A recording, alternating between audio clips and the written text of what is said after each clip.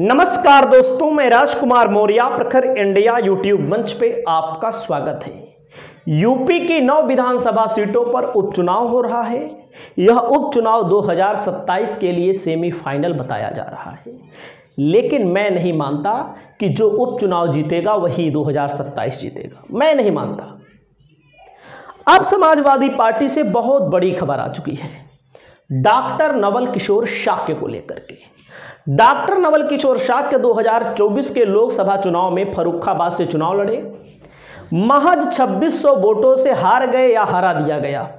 आप लोग कमेंट करके बताइएगा, क्योंकि इन्होंने याचिका भी डाली हुई है, याचिका पर सुनवाई भी चल रही है, और बहुत सारे फ्रॉड की खबरें भी आई थी। आप लोगों ने देखा होगा कि 2024 के लोकसभा चुनाव में सबसे ज़्यादा फरुखाबाद से। रिपोल हुआ था, फिर से चुनाव हुआ था। एक आध दो जगहों पर। तो आप समझ सकते हैं, अब समाजवादी पार्टी ने इनको बड़ा नेता बना दिया है। बड़ा नेता का मतलब है कि सांसद भले नहीं है, लेकिन पूरे प्रदेश में इनको लोग जानते हैं, क्योंकि पूरे उत्तर प्रदेश में सबसे कम वोटों से हारने वाले डॉक्टर नवल किशोर शाक्य हैं, स्वामी प्रसाद मौर्य के पूर्व दामाद हैं, जो संगमित्रा मौर्य का नाम करहल विधानसभा सीट पर चल रहा है, इनसे शादी हुई थी पहले। किसी कारणवश उनका तलाक हो गया, इनका उनका अलग अलग मामला है, इनकी दोबारा शादी हो गई है, दोबारा बच्चे भी हैं, वो अलग विषय है। लेकिन डॉक्टर नवल किशोर शाक्य को लगातार पूरे प्रदेश की जनता, मैं देश की जनता पर नहीं जाना चाहूँगा, पूरे प्रदेश की जनता इनको जानती है। पहचानती है।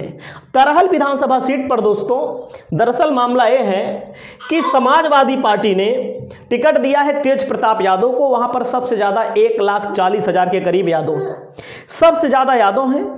दूसरे नंबर पर शाक की आबादी है, जिसको बीजेपी टिकट देने जा रही है। तय चाहे संगमित्रा मौर्य को दे, चाहे विनोद साक्य को दे, चाहे जिसको दे, उस चाहे प्रेम सिंह साके को दे तय हो चुका है कि बीजेपी चुनाव जीतेगी नहीं।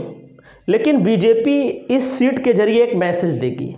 शाक्य को टिकट दे करके कि हमने शाक्य को टिकट दिया था। और जीतना तो है नहीं, आप सब जानते हैं।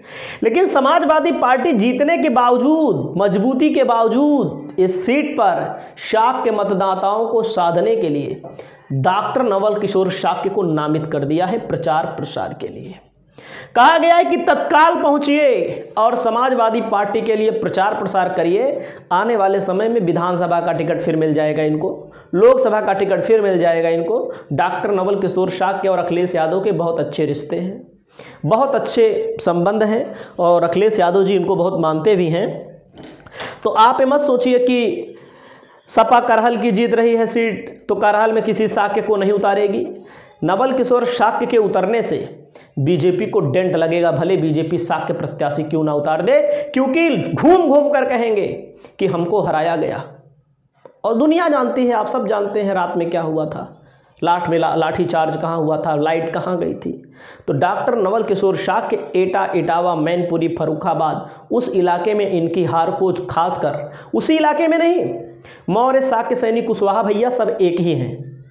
कहीं पर मौर्य लिखा जाता है, जैसे पूर्वांचल में मौर्य लिखा जाता है, बुंदेलखंड में कुशवाहा लिखा जाता है, पश्चिमी उत्तर प्रदेश में सैनी लिखा जाता है और शाक्य जो लिखा जाता है, एटा, इटावा, मैनपुरी फरुखाबाद इधर आंवला में भी मौर्य लिखा जाता है। तो कुल मिलाकर के ऐसा नहीं है कि समाजवादी पार्टी इस वोटर को छोड़ने के मूड में है। यही वोटर है जो समाजवादी पार्टी के लिए बूस्टर का काम किया 2024 के लोकसभा के चुनाव में।